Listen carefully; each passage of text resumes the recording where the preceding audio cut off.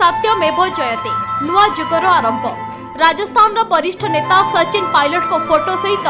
ନୂଆ ପୋଷ୍ଟର ରାଜସ୍ଥାନର ଅନେକ ସହରରେ ଦେଖିବାକୁ ମିଳିଛି କିନ୍ତୁ ବର୍ତ୍ତମାନ ଏହି ରାସ୍ତା ଏତେ ସହଜ ନୁହେଁ ଦୀର୍ଘ ଦିନରୁ ରାଜସ୍ଥାନରେ ଚାଲିଥିବା ରାଜନୈତିକ ସଙ୍କଟ ଦିନକୁ ଦିନ ଅଲଗା ଅଲଗା ରୂପ ନେଉଛି କଂଗ୍ରେସର ଗୋଟିଏ ପଦବୀ ଗୋଟିଏ ବ୍ୟକ୍ତି ନିୟମ କାରଣରୁ ଅଶୋକ ଗହଲ ଇସ୍ତଫା ଦେବାକୁ ବାଧ୍ୟ ହେଉଛନ୍ତି କାରଣ ଦଳର ଶୀର୍ଷ ପଦବୀ ପାଇଁ ସେ ମତଦାନ ଲଢ଼ୁଥିଲେ ଓ ରାଜସ୍ଥାନର ପୂର୍ବତନ ଉପମୁଖ୍ୟମନ୍ତ୍ରୀ ସଚିନ ପାଇଲଟଙ୍କ ପାଇଁ ମୁଖ୍ୟମନ୍ତ୍ରୀଙ୍କ ପଦବୀର ରାସ୍ତା ଖୋଲିଯାଇଛି କିନ୍ତୁ ବର୍ତ୍ତମାନ ବାଜି ଲେଉଟିବା ଭଳି ନଜର ଆସୁଛି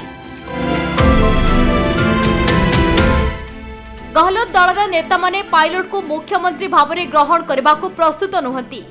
ତେବେ ସୂଚନା ଅନୁସାରେ ନିର୍ଦ୍ଦଳୀୟ ସମେତ ପାଖାପାଖି ଶହେ ଜଣ ବିଧାୟକ ଅଶୋକ ସହିତ ରହିଥିବା ବେଳେ ସଜନଙ୍କ ସହିତ ଏତେ ପରିମାଣରେ ସହଯୋଗ ରହୁନି କୁହାଯାଉଛି ଯେ ଏକସ୍ତରୀ ବର୍ଷୀୟ ଅଶୋକ ଗହଲତ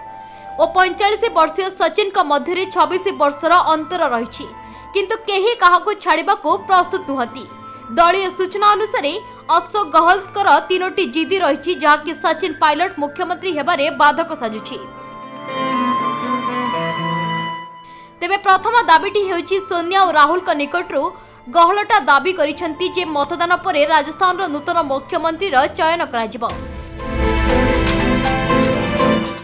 ଆଉ ଦ୍ୱିତୀୟ ଦାବିଟି ହେଉଛି ନୂତନ ମୁଖ୍ୟମନ୍ତ୍ରୀ ଶହେ ଦୁଇ ଜଣ ବିଧାୟକଙ୍କ ମଧ୍ୟରୁ ସେହି ବ୍ୟକ୍ତି ହେବେ ଦୁଇ ହଜାର କୋଡ଼ିଏରେ ଦଳର ସଙ୍କଟ ସମୟରେ ଦଳକୁ ରକ୍ଷା କରିବାରେ ମୁଖ୍ୟ ଭୂମିକା ଗ୍ରହଣ କରିଥିଲେ ସେହି ବ୍ୟକ୍ତି ନୁହେଁ ଯିଏକି ସରକାର ଭାଙ୍ଗିବାରେ ସାହାଯ୍ୟ କରିଥାଏ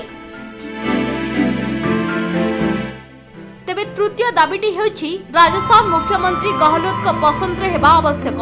କିନ୍ତୁ ଏଠି ଆମେ କହି ରଖିଛୁ ସଚିନ ମଧ୍ୟ ରାଜନୀତିରେ ପୋଖ ଖେଳାଳି ସେ ମଧ୍ୟ ତାଙ୍କର ଗୋଟି ଚଳାଇଛନ୍ତି ତେବେ ଦେଖାଯାଉ ରାଜସ୍ଥାନ ରାଜନୀତିରେ ଆଗକୁ କ'ଣ ସବୁ ଦେଖିବାକୁ ମିଳୁଛି